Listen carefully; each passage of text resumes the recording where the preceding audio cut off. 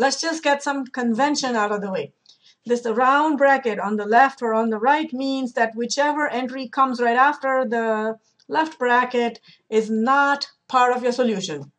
Whichever entry comes right before your right bracket is also not included. So we use the round bracket when the values are not included. You will use the square brackets if the values are included. So anything that follows the square bracket on the left is included. Anything that precedes this square bracket is included. Once we do examples, it will become more clearer. All right, so we represent, for example, x is smaller than a, where a is a real number. It's the same as saying a is bigger than x, as open bracket, negative infinity to a, open bracket. As soon as you have a positive or a negative infinity, what does that mean? Infinity means keep going forever. Negative infinity would mean keep going forever on the negative side. Positive infinity would mean keep going in the positive direction forever. Let's plot it on a number line so that you can see what this represents, this interval notation. So we clearly have to plot an A first. Is it included or not? It's less than, so we're going to have a hole at A. So that's my A. Now what? X is smaller than A, so you have to go this way. So that represents, so see how we, our arrow is pointing towards the negative direction. So negative infinity to A. You're going all the way down from A. All right, let's try the next one. So x is less than or equal to a. So it should be the same as that. The only difference being now you are allowing x to equal a.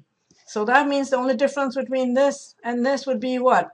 You are including the a. So this negative infinity part will stay the same. Thus a is going to have a square bracket. Square bracket at a means a is included. So it will look the same picture as above except a is filled in because a is included x is bigger than a. x is bigger than a. What does that mean? It's the opposite of this. It's going to go this direction. And again, a is not included and you're going up. So round bracket at a and infinity. So you can see if you have an infinity or a negative infinity, that side is always going to get a round bracket because you can never catch infinity. x is greater equals a. So same picture as x greater than a, except the a will be filled in, right? And a square bracket at A. You can see the difference between those two. Round bracket at A means A is not included. Square bracket at A means A is included. And infinity is never included, so it's round bracket at infinity. How about that? So all real numbers x that are trapped between A and B, but without A and B. So that will be round bracket A comma B. So depending on the context, it's clear what this notation is used for. So here's my A, here's my B, and all the real values that are trapped between A and B. So that will be all of these values. And that's what represents open brackets A comma B. What if I have the square bracket A comma B? There will be the same picture except A and B would be included and then everything in between. So for all A smaller than B, we represent X is smaller than A or X is bigger than B as open brackets negative infinity to A. This will represent X less than A. The OR is represented by this U symbol or union symbol. And x greater than b is represented by open brackets, b to infinity. All right, so let's look at this graphically. We have a is smaller than b, so a is to the left of b. a and b are not included because you have strictly less than and greater than signs. And as before, we know that x smaller than a means everything to the left of a, and x bigger than b would mean everything to the right of b. So you see this U symbol, that means union. That means together. You want, you can either be here or here. You can either be here or here. That's what this notation means. All right, so x less equals a or x greater equals b. So now a and b are included, same picture except what?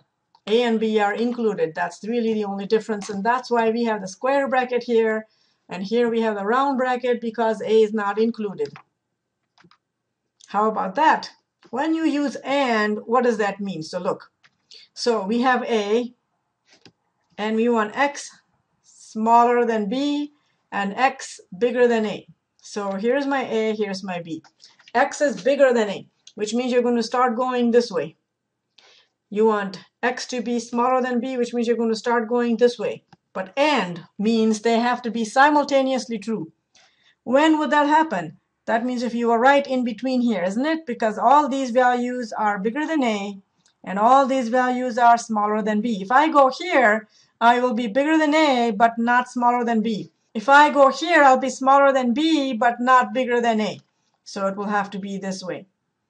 So you can see that they start going towards each other, clash, and it has to be right in between here. So whatever is common to this and this. And same thing, except what? The only difference will be now A and B are included. So everything in between and A and B included. That's what this would mean. All right, x is smaller than a and x is bigger than b. So here's my a, here's my b, they are not included. You want smaller than a but bigger than b. But as soon as you're smaller than a, you're automatically smaller than b. Is that going to happen? No. We can't have them at the same time though. Smaller than a would mean smaller than b and not bigger. So that's not going to happen. So that's why no solution. Let's try that. It's the same thing, right? So you already expect no solution. If you want x is equal to a or b, that would be okay. But and means, can you have that at the same time? The answer is no. It's the same thing as that. So that's not going to happen. All right, let's try that.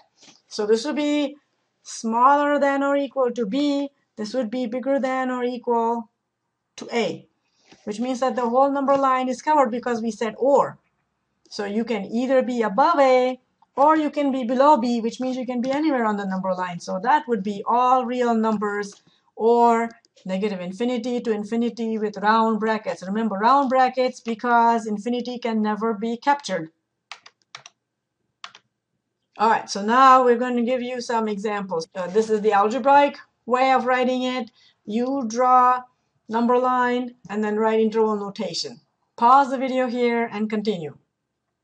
Assuming you have paused, You'll have a number line, you'll have a hole at negative 3 quarters because it's not included.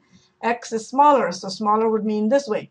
So interval notation would be negative infinity to negative 3 quarters. Negative 3 quarters is a round bracket because it's not included. All right, try that one on your own. Pause the video, see what you can do. Remember, you're going to have to do video logs on your own, so go ahead and try that. So 5, 5 is included and everything under it. So same thing as this, except what? This will be a square bracket. So negative infinity to 5 with a square bracket at 5. Remember, when do you do square bracket? Square bracket because you're including 5. Round bracket is used when you are not including that number. All right, try that on your own. Pause the video and try. Are you pausing? All right, negative 4 not included, but bigger than negative 4.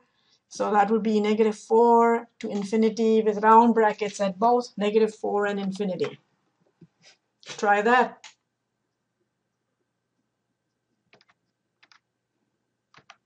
So 100 and then bigger than 100. So that would be square bracket at 100 to infinity everything between negative 2 thirds and 2 thirds. So negative 2 thirds and 2 thirds holes and everything in between. So that means what? Open bracket at negative 2 thirds, open bracket at 2 thirds, and everything in between. You separate the two numbers with a comma in between. Don't forget that comma. What about that? Okay. Plot 3, plot 12, they are included and everything in between, right? So square bracket 3 comma 12. Try that. Remember, this is OR. you can be less than negative 2 or greater than 2. So negative 2 and 2 are holes. Less than negative 2 will be this way, and greater than 2 will be this way. So two separate pieces means two separate intervals because you have an or. So it'll be negative infinity to negative 2 or 2 to infinity. This U symbol means or, remember? Same kind of, uh, have same kind of interval except what? 3 halves and 5 thirds are included and everything under here, everything above here. So that means instead of round bracket here, you're going to have a square bracket. So square, negative infinity to 3 halves squared, union square bracket 5 thirds to infinity. Remember, negative infinity means keep going to the left. Positive infinity, keep going up from the number. All right, try that. Remember now it's an and. All right, negative 1 fifth and 1 fifth are here. You want x is smaller than 1 fifth. So smaller than 1 fifth would be this way. And bigger than negative 1 fifth will be this way. Simultaneously, so that would have to be this. Watch again. Simultaneously, so it will have to be just that. So open bracket, negative 1 fifth to 1 fifth. Same picture probably, right? Negative 40, negative 30.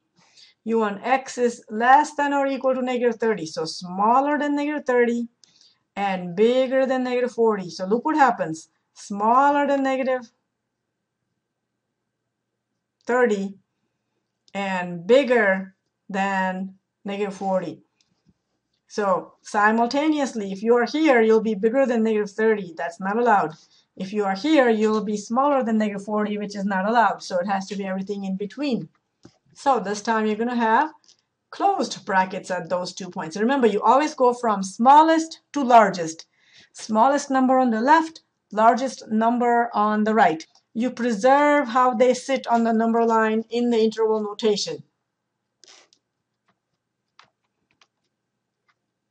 All right, try that on your own. Give you a few moments.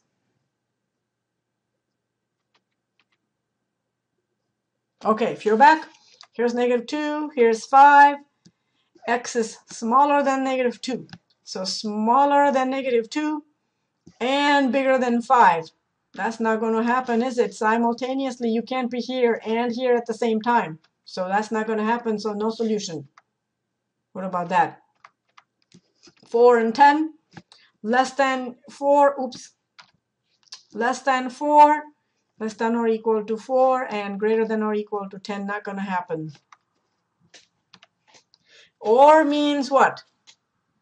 That means you can either be more than or equal to negative 3. So that'll be on this side. Or you can be less than 2. So look what happens. So when you go more than negative 3, everything is taken, including the 2. If you go under 2, so you're going to start here and go down, then look, the whole number line is covered. So negative infinity to infinity. So even though 2 is not included here, it got included as soon as you started going above negative 3 and including everything above negative 3. 2 is a number above negative 3, so that's why it got included in case you're confused. All right, try these on your own.